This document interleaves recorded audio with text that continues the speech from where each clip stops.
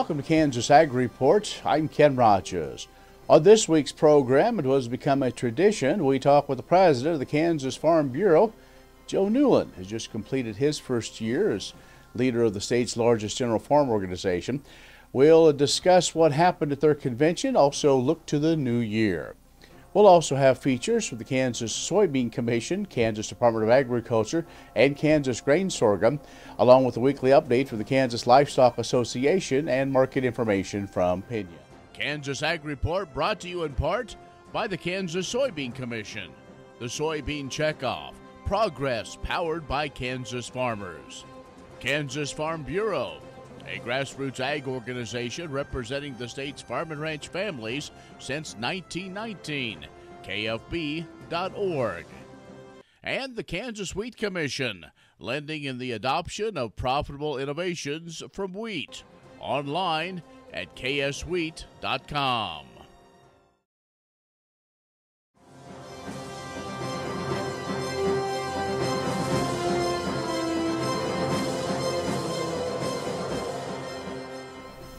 In agricultural news, four new board directors recently appointed by Ag Secretary Tom Vilsack were sworn in at the Sorghum Checkoff's annual December meeting. Also, a couple of producers began their second term after being reappointed by the Secretary. The board elected Kendall Hodgson of Little River to be the chairman for 2024. He said he's honored to lead the organization into a new era of growth and innovation. He said sorghum is a crop with incredible potential. He's excited to work alongside the leaders and producers to elevate its impact. Together, he said, we will cultivate opportunities, foster sustainable growth, and strengthen the sorghum industry. U.S. Uh, Checkoff Program, Sorghum Checkoff Program Executive Director Norma Ritz Johnson said amidst the challenges of persisting drought, innovation thrives in the heart of the challenges. She said, We're ecstatic that the group of producers and board members embody that resilience that will steer the sorghum industry towards a horizon of groundbreaking possibilities. USDA says ag producers can now enroll in the Farm Service Agency's agriculture risk coverage and price loss coverage programs for the 2024 crop year. Producers can enroll now and make election changes through the deadline, which is March 15th of next year. Now, this current farm bill was extended through September 30th of 2024, and that allows authorized programs like ARC and PLC to continue operating. Zach Ducheneaux, administrator for the Farm Service Agency, says it's business as usual for ARC and PLC implementation for that 24 crop year. He said the programs provide critical financial protection against commodity market volatilities for many American farmers, so he says don't delay that enrollment. He also advises producers to avoid the rush and contact the local FSA office for an appointment because even he says with no changes in the program, elections for next year, farmers still need to sign a contract to enroll. Kansas State University took another step towards its $220 million in improvements to its agriculture infrastructure when it broke ground earlier this month on the new Animal Science Event Center. KSU Foundation President and CEO Greg Willems announced the new facility named the Bilbrey Family Event Center. It's an indoor arena, will become the TJ Quarter Horse Walker Family Arena. The facility will be located adjacent to the Stanley Stout Center north of the Manhattan campus. That's a known area as the Edge District. Willems said the Bilbrey Family Event Center will showcase livestock performance competitions, judging shows, and large events to connect youth organizations, prospective students, companies, and the public in positive and meaningful ways. The project planned for completion by August of 2025. Now, earlier this year, K-State began construction at the Agronomy Research and Innovation Center. That's also north of campus. It's across Kimball from the uh, Snyder Family Football uh, Complex. Now, next spring, K State anticipates breaking ground the Global Center for Grain and Food Innovation. That will connect Weber Hall and Call Hall. That's the northern edge of Manhattan's uh, uh, main campus there. Uh, they currently house much of K State's animal science program. Now, there will also go some major renovations beginning early in 2025. In total, the improvements represent an investment of $220 million in K State's ag infrastructure, including new and renovated facilities. As of late this year, the KSU Foundation reports that $143 million has been raised towards that goal. K-State President Richard Linton told a gathering back December 15th that the Agriculture Innovation Initiative is one that is important and is the largest fundraiser so far in K-State history. we come back, we'll talk with Joe Newland, the president of the Kansas Farm Bureau, when we return on the Kansas Ag Report. The Kansas Ag Report brought to you in part by Kansas Grain Sorghum, growers working together. Learn more at ksgrainsorghum.org. Grass and Grain, online or in the mail, keeping Kansas farmers informed for over 60 years. Grassandgrain.com.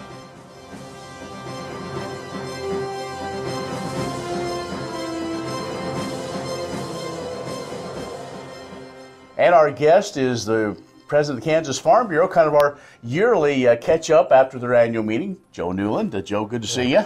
Well, thank you, Ken. What a great opportunity it is to visit with you about an opportunity I had the last few days. All right, so we, as we're talking, we're taping this just really moments after the election, back in the home office now, getting ready to go on. So let's let's review. This was your first year as being president of Kansas Farm Bureau. What were some of those highlights and some of the things you shared with those at the convention? I think the best thing that I could say is the people that I get to work with getting to know the other state Farm Bureau presidents is just so unique uh, of an opportunity. These individuals are some of the best in the country. That to get to visit with them and discuss issues that affect us on the national level, uh, that's pretty special because whatever we do in the state, it's, it's big. But when we work on the federal issues, that's, that's really huge in your comments at the annual uh, banquet, uh, you talked about you know the partnerships that you've seen formed and some of the partnerships this team has now brought together with some traditional ones and maybe not so traditional when you look at trying to find solutions. Correct, and the U.S. Agricultural Partnership Plan that we can partner with other uh, partners, other states, other entities of all kinds to discuss and come up with solutions to you know issues that really affect us here in Kansas. Uh, take for instance the Prop 12 uh, issue that we had in California that truly does affect us in Kansas, and so you have that. Of course, our Engage Kansas, where we can help train leaders for the future across the state, uh, especially in our rural communities. We need to make sure we are training the leaders for tomorrow there. There are several different groups that Kansas Farm Bureau sponsors and, and does leadership training, and those go back. And now we're seeing some of those that have they've gone through there to really step up and take leadership roles. And so we're seeing those uh, finally pay dividends in, in growing those local communities where those farmers and ranchers serve. Exactly. You know, our leader circle, where we have past and present leaders come together to actually help fund our KFB leadership program. It's extremely important that we keep that going and make sure that we're training those future leaders. But then also our two year program with the Caston Fellows, which is very intense uh, leadership training for international and uh, abroad trips uh, as well. But that type of study really does uh, prepare those people for the world. And uh, we, we can't just uh, just depend on leaders for today in this state, but it, it is on the international level as well. We're talking with Joe Newland, who is the president of the Kansas Farm Bureau, just wrapping up their annual meeting as we're recording this. We're going to take a break and then talk about some of those policy and other things that came out of the meeting. We'll do that in just a moment. Kansas Ag Report brought to you in part by the Kansas Livestock Association supporting members' business interests and meeting consumer demands. KLA.org. Ohlde Seed Farms, carrying soil specific seed. Find them on the web at ohldeseed.com. That's O H L D E seed.com. And Kansas Corn, building the future at kansascorn.com.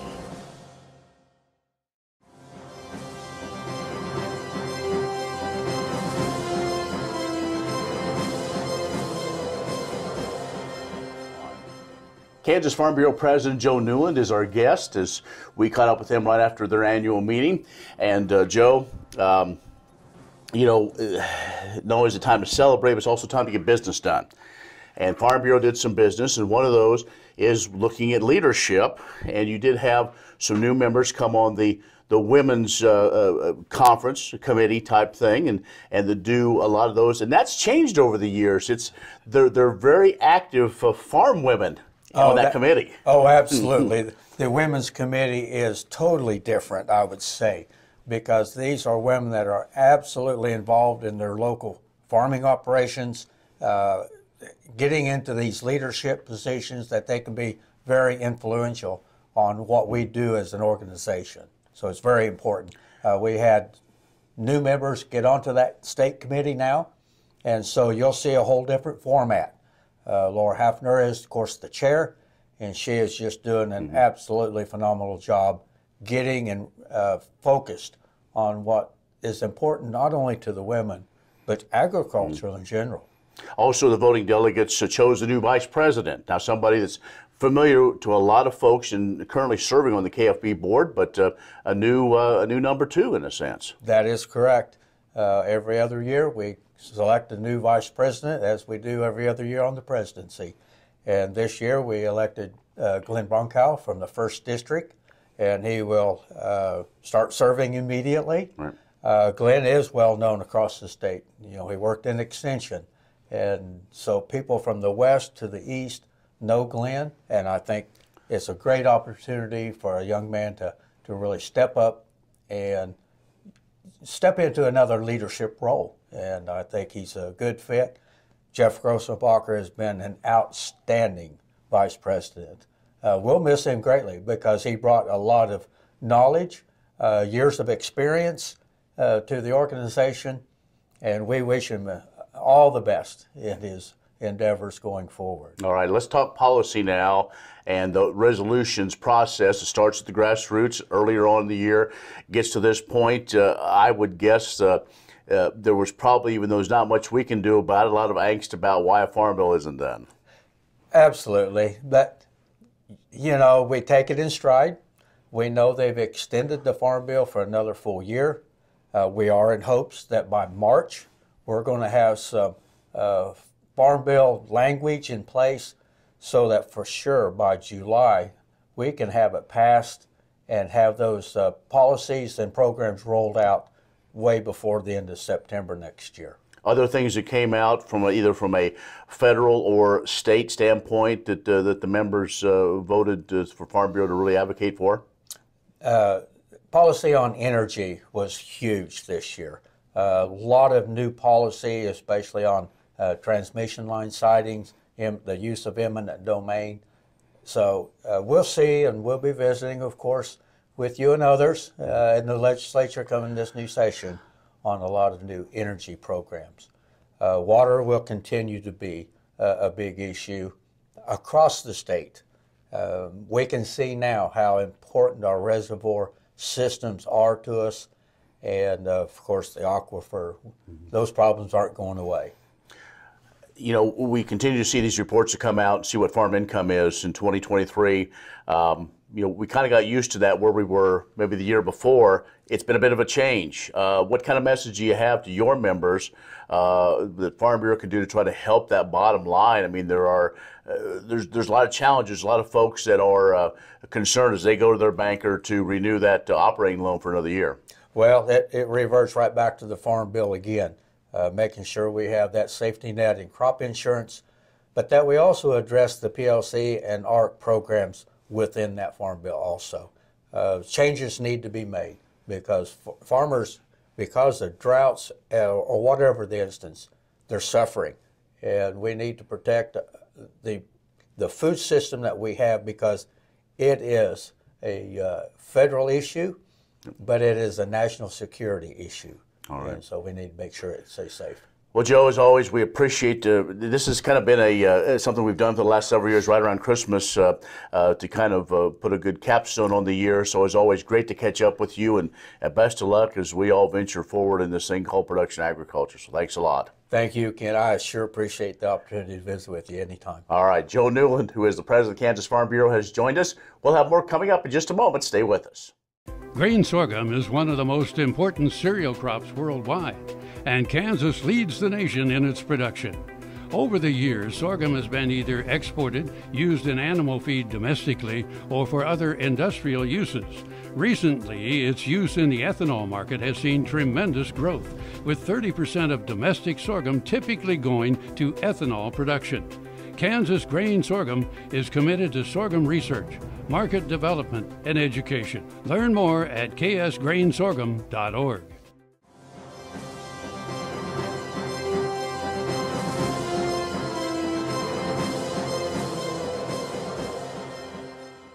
Hi everyone. Maddie Meyer, Kansas Grain Sorghum's Program Director here to bring you the latest Kansas Grain Sorghum updates. As many of you know, we work very closely with the United Sorghum Checkoff Program, and the USDA has recently announced the individuals who will be serving on the United Sorghum Checkoff Board of Directors. And I'd like to take the opportunity to congratulate the following individuals James Haas of Colorado, Ethan J. Miller of Missouri, Tracy Zink of Nebraska, David Shem of Kansas, Brian Adamek of Texas, and Scott Irlbeck of Texas. Five of these members will serve a three-year term from December 2023 to December 2026, with the exception of Irlbeck, who will serve a two-year term, and his role begins immediately. We look forward to connecting with these new and current individuals at the national board meetings down in Lubbock, Texas from December 11th through 14. It's already hard to believe that we're at the end of 2023. It isn't too early to begin thinking about upcoming meetings and events that will take place in early 2024. Along with the Kansas Soybean, Wheat, and Corn Associations, we look forward to hosting the annual Kansas Commodity Classic, held January 26 at the Salina Hilton Garden Inn. We've got a great lineup of speakers and topics prepared to provide a one-stop shop for Kansas farmer leaders. I'd also like to mention Kansas Corn reminds you that E15 fuel is the right choice for every kind of driver. For the car enthusiast, E15 has higher octane for the thrifty driver, E15 is priced lower than regular unleaded. For the nature lover, E15 provides cleaner air. For the shopper who buys local, E15 has more ethanol from our Kansas corn farms. Choose E15 for a higher octane, lower price, cleaner American fuel. Message from the Kansas Corn Commission. Learn more at kscorn.com.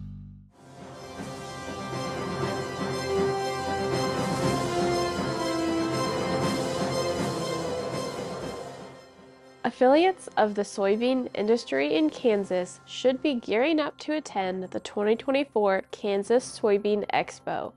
The annual event, set in Topeka, returns January 10th to the Maner Conference Center in conjunction with the Topeka Farm Show. The scheduled agenda for Expo includes valuable information on research, managing risk, and weather forecasting, Participants can hear from Kansas State University agronomic specialists on the changing research landscape, learn top marketing tactics from Kansas State University agricultural economists, and understand upcoming weather patterns from Joe Lauria, Fox 4 Kansas City meteorologist. To close out a day of learning, Dave Lewis Entertainment plans to amp up the fun with the Game Show Roadshow. While Expo provides growers with a preview of the upcoming crop year, it also celebrates the preceding season with the announcement of the 2023 Yield and Value Contest winners. Additional awards for Friend of Soy and Meritorious Service are presented at the luncheon. Notably, former Senator Pat Roberts, an icon in agriculture, is the invited luncheon speaker. Roberts began representing Kansas in the U.S. Senate in 1997 following a long tenure in the U.S. House of Representatives. He is the first person to chair both the House and Senate Agriculture Committees. Kansas Soybean Expo brings together soybean producers in Kansas for a day of learning, industry updates, and networking. The Kansas Soybean Association organizes the event with checkoff funding from the Commission. Expo is a free event. Registration and exhibits open at 8:30 a.m. with the program scheduled to begin at 9 a.m. Visit www.kansassoybeans.org/expo to view the agenda and register for Expo to reserve your seat. Online pre-registration is not required but is recommended to expedite the registration process on the day of Expo.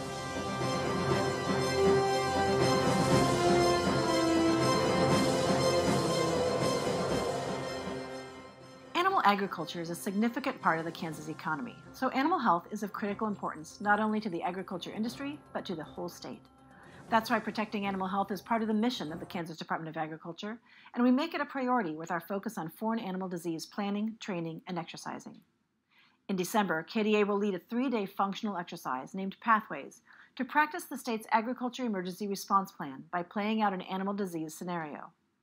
In the event of an agriculture incident, the emergency response is led by the Kansas Department of Agriculture, and our incident management team develops policies and operational plans to manage the disease response and to provide factual, transparent public information and education to the industry and the public, including a phone bank to receive calls from citizens who would be affected by an incident.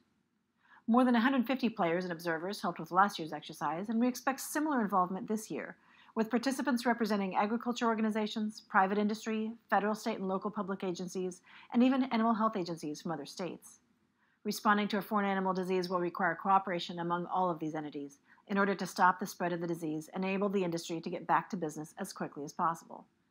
This year's exercise looks at disease traceability in the early stages of a multi species disease outbreak.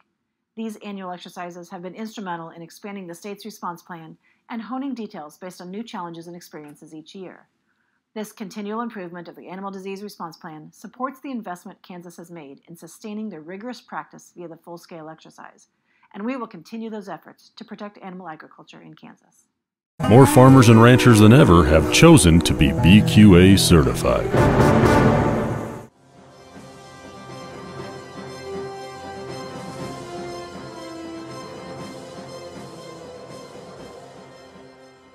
The Farm Service Agency is waiving the 30-day requirement for producers to submit notices of loss for the Emergency Livestock Assistance Program and the Livestock Indemnity Programs.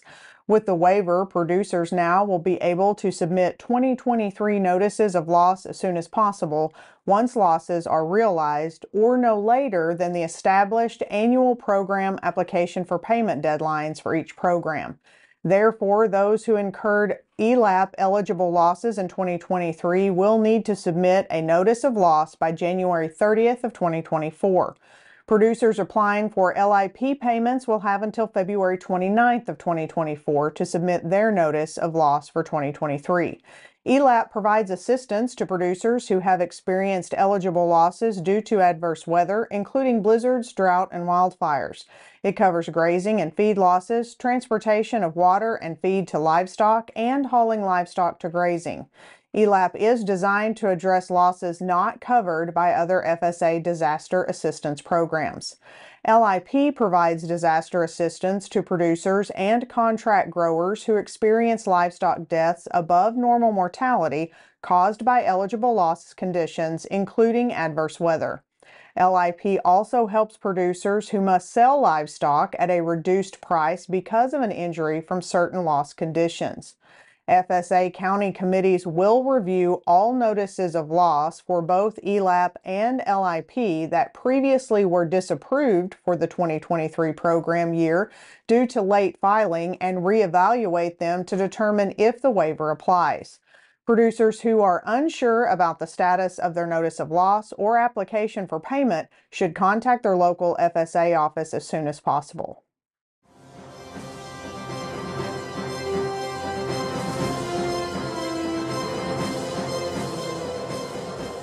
Good morning. This is Jake McCall with Pinion Ag. As we move into December and the year end, there is plenty to watch across the board trade. Starting with the grains, each market is taken on its own concerns as corn settles into a trading range with no real story to back it up. Exports have been consistently within estimates, with 1,289,000 tons being sold in the week ending November 30th, which is down from last week but double the same week from last year. Ethanol reports showed a big week for production, with 7.532 million barrels. This is the biggest production week we've seen since before August, but that pace will need to continue in order to meet the USDA's targets as we handle a fairly large carryout going forward. Meanwhile, the soybean market seems intent on watching the South American crop, which is expected to once again set records. Beneficial rains have been coming to our peers in Brazil and Argentina as we come to the critical growth period in the southern hemisphere over the next two months, and that will weigh heavily on the minds of those contemplating our own export capacity and to what extent Brazil can capture the world market once that crop is harvested. Until then, our exporters have been hard at work selling another 1,517,000 tons last week, which is down from last week, but well over 693,000 tons last year. This week on the front month January contract, we have been doing battle around the psychological $13 mark, which could prove to be an important pivot point for the weeks to come.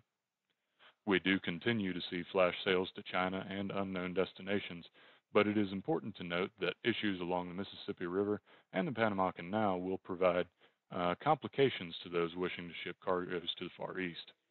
At the Panama Canal, reduced water levels have severely hampered the traffic of Panamax shippers that can make it through the locks in a day, and grain shippers generally losing out in bidding wars to higher value shippers for the valuable spots in line. The wheat market has seen some sparks fly this week, with over a million metric tons of soft red wheat being sold to China in just three sales. This came along with some fun short covering that gave a solid rally off the lows in Chicago, Kansas City, and Minneapolis wheat markets. Whether that will continue is anyone's guess, but it was a breath of fresh air to a demoralized wheat market that has seemed to have a one sided conversation between bulls and bears ever since wheat harvest concluded last summer. Cattle markets continue to be locked in a downward trend, with a pattern of steep moves down followed by a small recovery time and time again. In some months, we are now approaching contract lows as this fall's move has erased many long-time gains. As many state, the old stair up, uh, stair step up and elevator down tendency of the market, producers are eager to see when we can carve out some sort of support for a low, but just like the high, it will be difficult to tell until after that happens. The crude market has seen a rapid fall off since the end of November as the world debates economic strength, current stocks, and the ability of OPEC to control the price. The dollar, on the other hand, has seen some recent strength, though still holding well below October highs. If you have any questions on the markets or would like help with your own marketing program, feel free to give us a call at 888 452 8751 and we'll look forward to talking with you.